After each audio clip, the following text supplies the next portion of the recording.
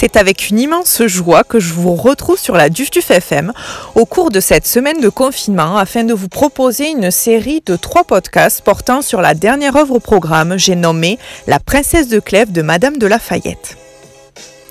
Si vous avez lu La princesse de Clèves avec autant d'attention que vous avez dévoré les fausses confidences de Marivaux, je sais à quel point il est primordial pour moi de vous faire un résumé assez costaud sur l'œuvre et vous dire quelques mots sur son auteur, Madame de Lafayette.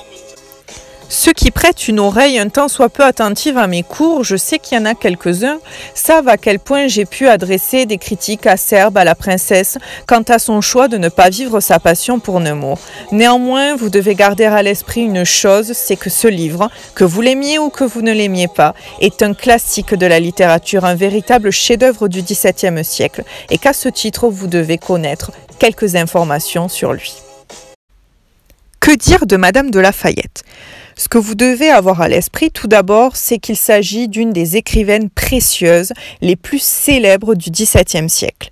Elle a 16 ans lorsqu'elle devient dame d'honneur, demoiselle d'honneur, pardon, de la reine.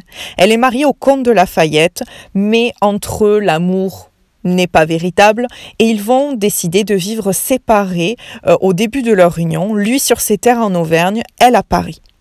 Elle fréquente les salons littéraires les plus courus du XVIIe siècle.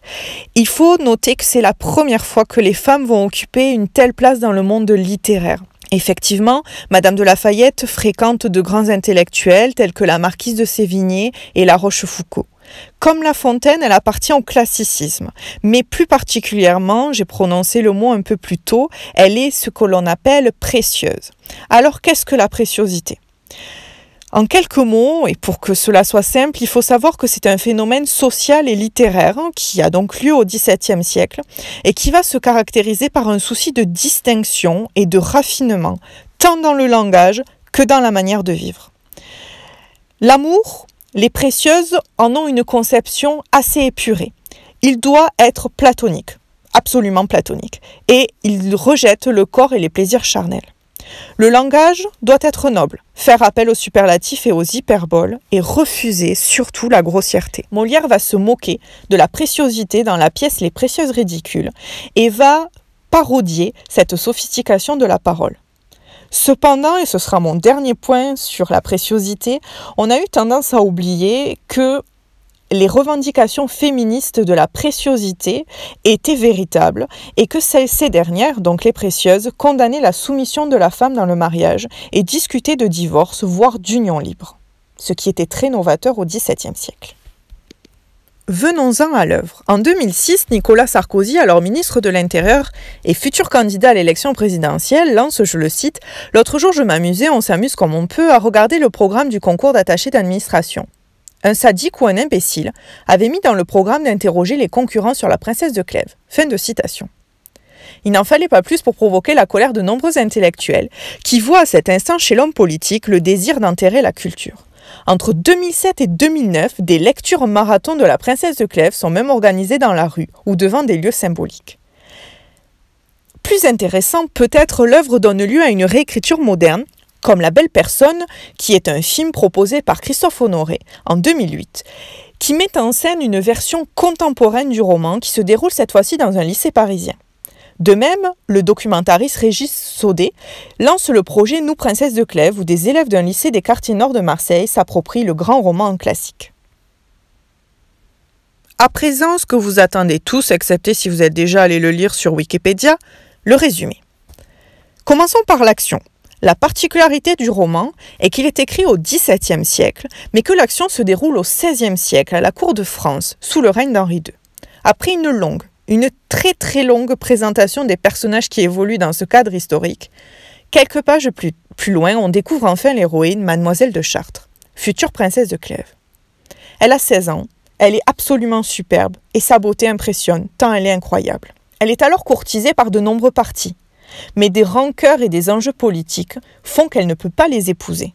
Le prince de Clèves peut donc la demander en mariage. Elle l'épouse sans être amoureuse. D'ailleurs, le mariage est un épisode extrêmement rapide dans le livre et beaucoup de critiques littéraires ont considéré qu'il était annonciateur de la fin tragique du roman. Peu de temps après ce mariage, lors d'un bal, elle danse avec le duc de Nemours, et là c'est le coup de foudre. La mère de la princesse comprend que sa fille est en train de succomber à la passion et lui fait promettre, sur son lit de mort, de ne pas, je cite Madame de Lafayette, tomber comme les autres femmes. Quelque temps plus tard, la princesse de Clèves, qui s'est retirée à la campagne pour fuir Nemours, avoue à son mari qu'elle aime un autre homme, et celui-ci, fou de jalousie et de chagrin, meurt suite à cet aveu. Alors qu'elle est désormais libre, parce qu'elle est veuve, alors que le lecteur actuel se dit que enfin l'instant croustillant qu'il attendait va arriver, la princesse de Clèves avoue son amour à Nemours, mais décide de se retirer dans un couvent où elle va trouver la mort quelque temps plus tard. Au niveau du genre, qu'est-ce que la princesse de Clèves? Très longtemps, la discussion a eu lieu. Est-ce une nouvelle? Est-ce un roman? Il n'en demeure pas moins qu'au XVIIe siècle, on le qualifie de petit roman. Il s'agit surtout du premier roman moderne, c'est-à-dire un genre qui va chercher plus de brièveté, plus de simplicité, et surtout qui va rechercher le réel. On a aussi pu parler de premier roman psychologique, puisque grâce à des monologues intérieurs, la narratrice nous donnait l'accès aux pensées des personnages, chose nouvelle au XVIIe siècle.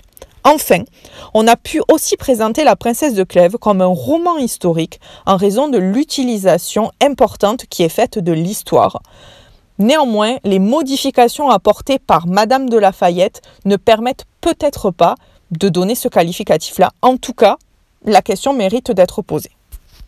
Dernier point de ce premier podcast, les grands thèmes de l'œuvre. Tout d'abord l'amour, c'est le thème central du roman. Il est vu par Madame de Lafayette comme un frein à la liberté, puisque, selon elle, lorsqu'on est amoureux, on perd la maîtrise qu'on peut avoir de soi. De plus, l'amour fait naître des sentiments négatifs tels que la jalousie, la tromperie, la dissimulation. Le deuxième thème est à mettre en lien très étroit avec l'amour puisqu'il s'agit de la cour. Elle est présentée au début du roman comme absolument magnifique. Les fêtes, les tournois, les intrigues amoureuses y occupent une place de choix, à tel point qu'on finit par se rendre compte que les seules préoccupations des nobles sont des préoccupations absolument futiles. La cour joue un rôle primordial dans le roman. C'est parce que tous les courtisans s'observent, c'est d'ailleurs ce que l'on voit dans la fameuse scène du bal, c'est parce que les courtisans cherchent le divertissement chez l'autre que certains personnages font le choix de la dissimulation. Mais la princesse va s'affirmer comme une protagoniste hors du commun. Elle est celle qui, au milieu d'un monde de faux semblants et de mensonges, va faire le choix de la sincérité en avouant à son mari qu'elle aime un autre homme.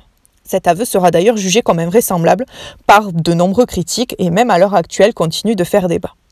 Troisième thème important, le jansénisme. En effet, la princesse de Clèves est influencée par le jansénisme, doctrine religieuse dont Madame de Lafayette était proche. Selon les jansénistes, l'homme est responsable du péché originel et n'a que peu de chances de rédemption.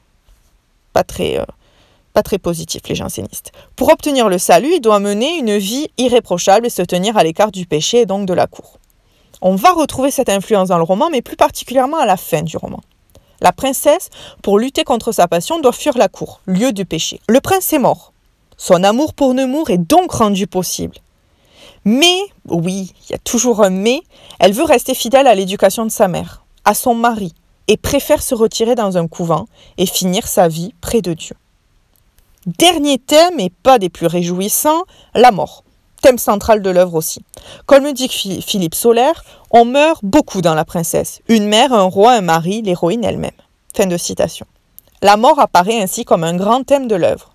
À la fin de l'édition Gallimard, illustrée par Christian Lacroix, il y a d'ailleurs une illustration que je vous ai proposée. On voit la princesse de Clèves habillée tout de noir, euh, elle a aussi un bonnet noir sur sa tête et elle euh, se dirige, elle est donc en mouvement. C'est la, la, dernière illustration de l'œuvre qui arrive à la quatrième partie du roman. Illustration métaphorique puisque en fait c'est la métaphore du deuil par rapport au noir, deuil de la mère, deuil du mari, deux morts qui pèsent énormément dans les choix et décisions de la princesse, mais également deuil de l'amour puisque elle fait le choix de renoncer à l'amour, forme de deuil.